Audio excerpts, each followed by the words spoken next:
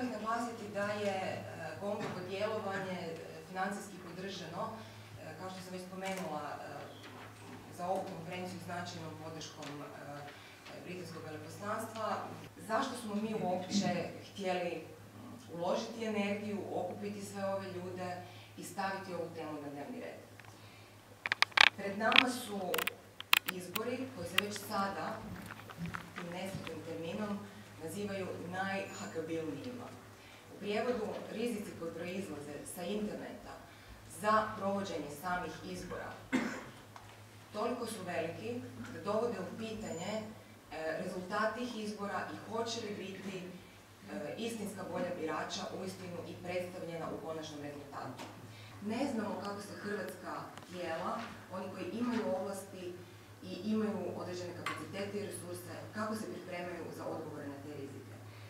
Nadamo se da je dovoljno na vrijeme, dok još nije službeno krenula kampanja, stotinjak dana pred e, europarlamentarne izbore, možemo e, i sa tim tijelima porazgovarati i na vrijeme upozoriti i nešto preventivno napraviti kako bi nam se ne samo ovi rizici od novih tehnologija, nego i druga prethodna iskustva u Hrvatskoj ovaj puta ne ponovila. Bojimo se da ako čak ni Njemačka, koja ima takav zakon, nije uspjela primjereno ga e, oblikovati e, bez da izaziva probleme sa slobodom govora, a ima sasvim drugačiji pravosudni sustav nego što ga mi imamo, da pomeni Hrvatska sa takvim zakonskim rješenjima e, neće dobro proći.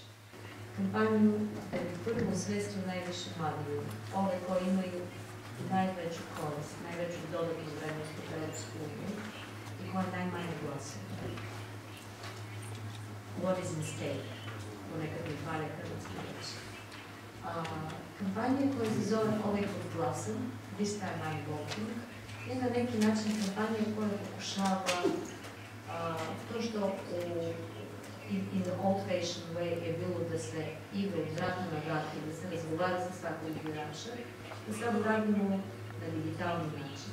I think this is why it's so important that the media and civil society are acting as um, as, as, as, as sort of watchdogs uh, of the process as much as possible.